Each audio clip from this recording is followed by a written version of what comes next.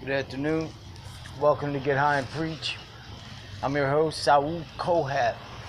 Nah, my name's Paul Cohen. Anyway, um, coming to you about the Valley of the Dry Bones. And uh, why it just occurred to me that it's the scripture that describes the church today. Um, absolutely, we are dry bones. We're not prepared for battle, are you? Are you ready to go down? Are you ready to throw down with demonic creatures that will suddenly appear on our planet? Are you? Because they're not suddenly appearing nothing, they're here. They're here. And they're becoming so numerous that we can see them on television now. I'm not talking about special effects, I'm not talking about someone's idea ideology of what a demonic creature looks like, but these are on film. These are things that no longer can be denied in our skies. Um, other planets, Jupiter, or was it Saturn? They believe they have a picture of a city on Saturn or Jupiter. Please, church, wake up. We are the bones laying in that valley. We are the ones who are responsible for this generation of people. There are billions going to hell. Someone you know, someone very close to you, your own family, is going to end up in the lake of fire and sulfur. I am extraordinarily com- con- concerned, condemned, yes, because uh, I don't think that uh, any one of us, including me, myself included, are worthy to meet the Lord if He returned right now in that air. I'm saying is, wake up and smell the bones. Ask the Lord to rebuild you because this army is dead. We are dead. We are selfish. We are greedy. We are filthy. We got to stuff a cigarette in our mouth the second we step out of church.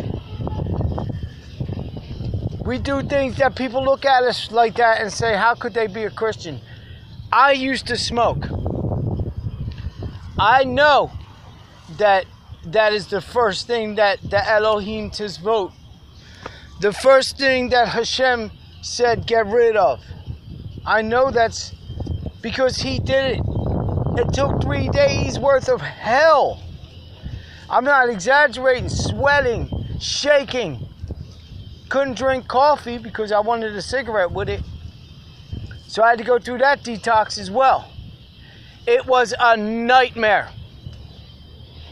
Literally a nightmare. Quitting smoking was the hardest thing that I ever did. But when Yah is standing there behind you with his hands on your shoulders, you're going to get through it. And then on the other side, you're going to have nightmares like I do. Because my nightmares are I'll be smoking in my dream, and then I'll suddenly remember that I have to quit again. You know, um, I'm sure that there are probably, if the other dimensions exist the way that I believe they exist, because I don't know.